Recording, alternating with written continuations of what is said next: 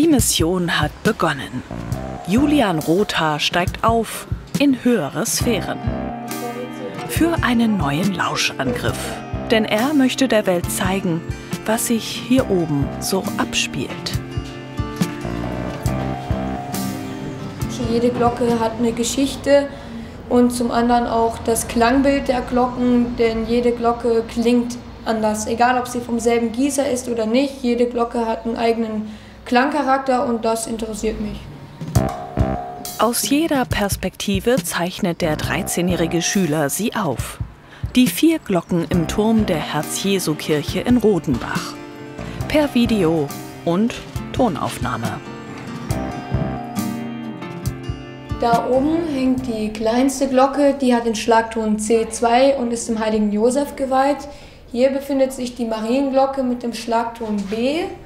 Hier drüben ist die zweitgrößte, die Christusglocke mit dem Schlagton G.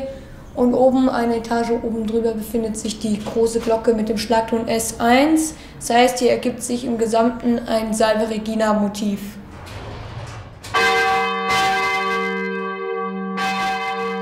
Er schwärmt in höchsten Tönen von diesem Glockengeläut. Es ist dem Pfälzer seit seiner Taufe vertraut. Mit Hilfe seines absoluten Gehörs gelingt Julian Rothaar die genaue Analyse des Klangbildes. Die Gemeindemitglieder, darunter auch seine Mutter, sind immer wieder erstaunt.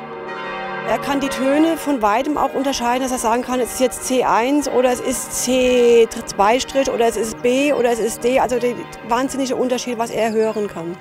Das ist äh, selten, dass die Menschen solche Hobby haben. Und äh, wenn jemand so fasziniert ist von den Kirchenglocken und Kirche überhaupt, das ist was Besonderes. Ich finde das faszinierend, dass junge Leute sich für die Kirchenmusik begeistern lassen, noch in Zeiten von Handy, Computer, der Technik, ne? dass er sowas mit den Händen macht. Doch ganz ohne Technik geht es auch nicht. So hat Julian Rothaar seit einem Jahr seinen eigenen YouTube-Kanal für Glockenfans unter dem Namen Josef Glocke.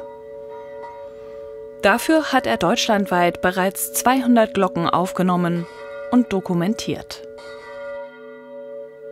Mein Ziel ist es, äh, so vielen Leuten wie möglich Einblicke in äh, Glockentürme zu gewähren und auch zum Beispiel Leuten, die dort nur wohnen und sich nicht richtig damit beschäftigt haben, auch mal zu zeigen, was hängt in ihrem Kirchturm.